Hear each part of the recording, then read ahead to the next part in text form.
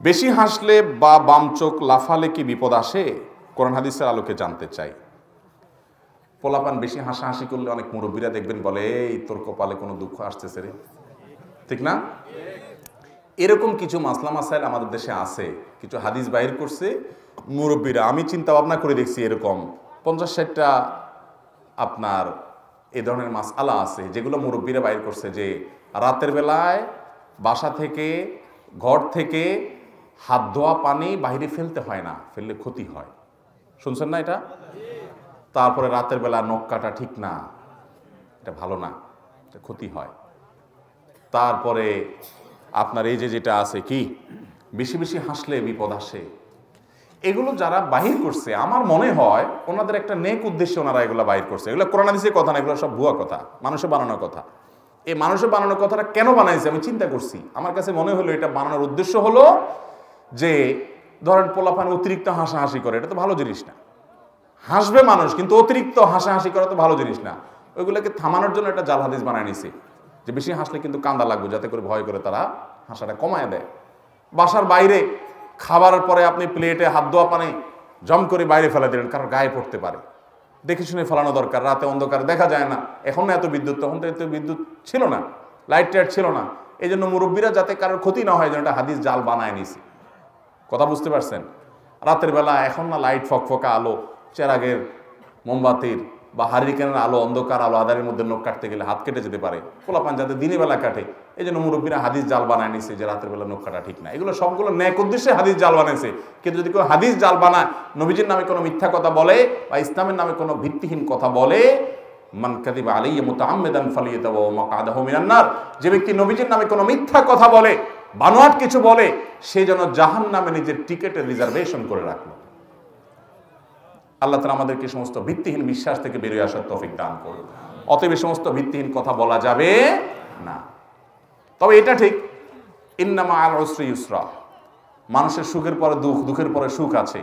বেশি হাসাহাসি করতেছেন, এরপরে একটু অসুবিধা হলেও হতে পারে, কিন্তু সেটাকে হলফ করে বা এভাবে নিশ্চিত করে বলার কোনো কারণ নাই। অতএব এগুলো করব না। আর বাম চোখ লাফানোর ব্যাপারটা বাম চোখ লাফাইলে কি হয়? বিপদ আসে। ডাইন হাত চুলকালে কি হয়? টাকা আসে। বাম হাত চুলকালে কি হয়? টাকা চলে যায়। হাই রে হাই রে হাই ভাই, বাম চোখ আর ডান চোখ, যত চোখ লাফাক, অতিরিক্ত লাফালাফি করলে আপনি ডাক্তারের কাছে যাবেন এখানে। ডাক্তারের কাছে গেলে ডাক্তারের ফি লাগবে, এই টাকা খরচ হবে, এই তো। তো বাম চোখ লাফালে আপনার বিপদ আসবে। এটা ভিত্তিহীন, শিরপূর্ণ কথা। ইমানদার এই সমস্ত ফালতু কথা বিশ্বাস করবে। এখন মুশকিল হলো, আপনি জানেন এটা ভিত্তিহীন বুয়া তারপরে যদি বাম চোখটা লাফালাফি শুরু করে দেয়, অনেকে বলে যে, ভাই, তখন কিন্তু একটা ভয় আসে, আরে, না জানি কোন বিপদ আসতেছে। বিশ্বাস করে এটা ভুয়া তারপরে ওই যে এমনভাবে গেথে গেছে যে, শয়তান তার মধ্যে অস্বসা সৃষ্টি করে। এবং কখনো কাকতালীয়ভাবে যদি বাম চোখও লাফাইছে, আবার এদিকে আপনার বিপদও আসছে। তাহলে বুঝবেন যে ঠাটা পড়ে বগ মারা গেছে আর ফরিকির কারামতি যায় রয়েছে ওইটার দুই পয়সার কোনো ভ্যালু আল্লাহ তালা আমাদেরকে সমস্ত কুসংস্কার এবং শিরপূর্ণ বিশ্বাস থেকে বেরিয়ে আসার তফিক দান করুন।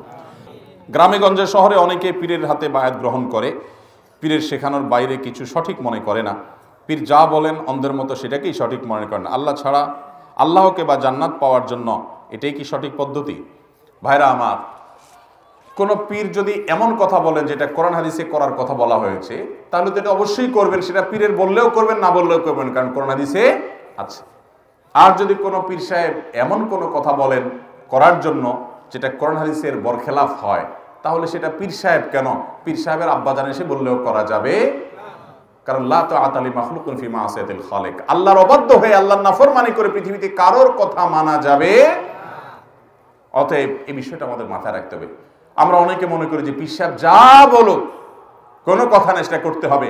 ফার্সিতে একটা কবিতা আছে, বামায় সাজ্জা দারাঙ্গি কোন গরাত পীরে মাগা গোয়াত কে সা লিখবে খবর নাবুয়াত জেরা হো রুসমে মঞ্জিলহা অর্থাৎ, পীরে মগা যদি তোমাকে, অভিজ্ঞ কোনো পীর যদি তোমাকে বলে যে, তোমার জায়নামাজ মদ দিয়ে ভরায় ফেলো, মদ ঢেলে জায়নামাজ ভরায় ফেলো তাহলে তুমি তাই করো, কারণ মদ, হালাল, হারাম, এটা তোমার চাইতে উনি ভালো জানেন। ভাইরা আমার, আল্লাহ তালা মদকে হালাল করেছেন না হারাম করেছেন?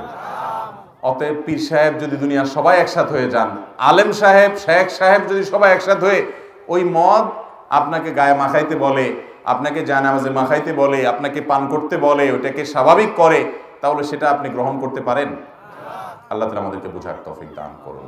আমরা আল্লাহর অবাধ্য হয়ে পৃথিবীর কোনো মানুষের বাধ্যগত হতে পারি?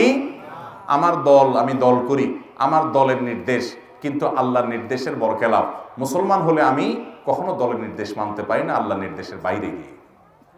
আল্লাহ তালা আমাদেরকে পরিপূর্ণ আনুগত্য করার তফিক দান করুন।